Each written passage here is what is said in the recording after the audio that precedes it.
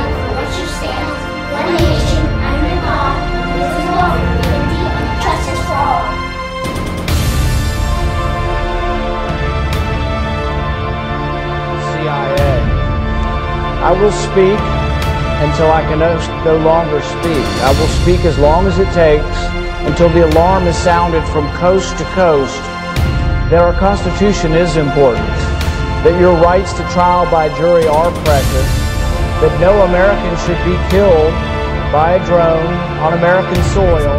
We are. We took an oath or just those that just want to live here and just be left alone.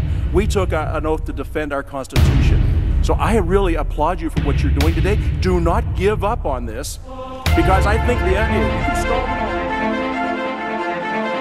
When in the course of human events it becomes necessary for one people to dissolve the political bands which have connected them with another, and to assume among the powers of the earth a separate and equal station which the laws of nature and of nature's God entitle them, a decent respect to the opinions of mankind requires that they should declare the causes which impel them to the separation.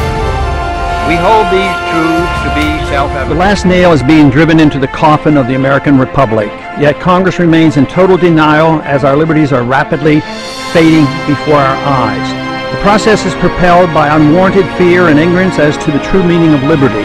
It is driven by economic myths, fallacies, and irrational good intentions. The rule of law is constantly rejected, and authoritarian answers are offered as panacea. I will not answer any questions or testify about the subject matter of this committee's meeting. like your health care plan.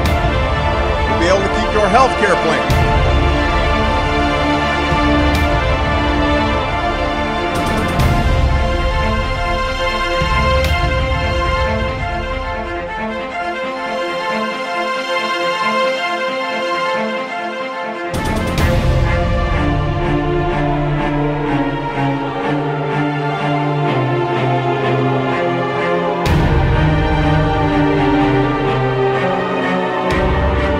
Regrettably, the news is not all happy. While we were on a Christmas break, the President of the United States of America violated his oath to uphold the Constitution by signing into law a statute that purports to give him the authority to use the military to arrest Americans on American soil and to confine those arrested to a jail in Cuba. See? You don't think I don't know you want to raise my property taxes and cut the Second Amendment and take my kids from me? And you say the state runs my kids on MSNBC? You don't think we're not going to fight you?